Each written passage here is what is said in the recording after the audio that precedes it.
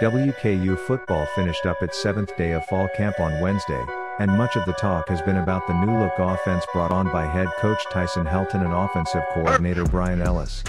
Rightfully so, but the Hilltoppers will also be displaying an experienced and hungry defense under third year defensive coordinator Clayton White. We are trying to make plays and be the most detailed and disciplined group, but at the same time be unpredictable and aggressive, White said. Guys are competing and guys are learning, they know the system so now they can go out and make plays, have fun and play within themselves, which is what you want for your defense. Junior cornerback Roger Cray gave his thoughts on his and the defense's progression, stating that this season I'm way more comfortable and I can just fly around.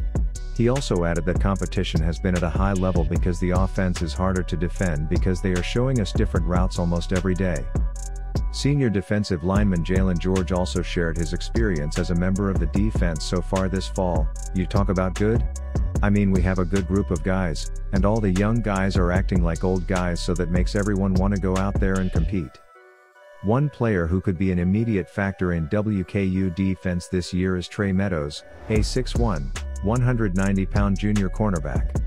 Meadows transferred to the Hill from Garden City Community College, and has been on campus since January, but originally went to NC State as a freshman where he first met White.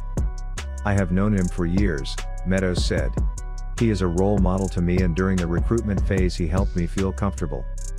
The respect goes both ways, as White also commented that it has been awesome, he has definitely been a great addition to the secondary. He can do some things that we haven't been able to do in the past. Helton also shared his praises on Meadows, saying that anytime you can get a guy on the outside who has length and is able to get up when they throw the ball down the field helps you out a lot. The Hilltoppers have 22 more days to prepare before their season opener on August 29 versus Central Arkansas. The Thursday night kickoff at Houchens Smith Stadium will be at 6:30 p.m.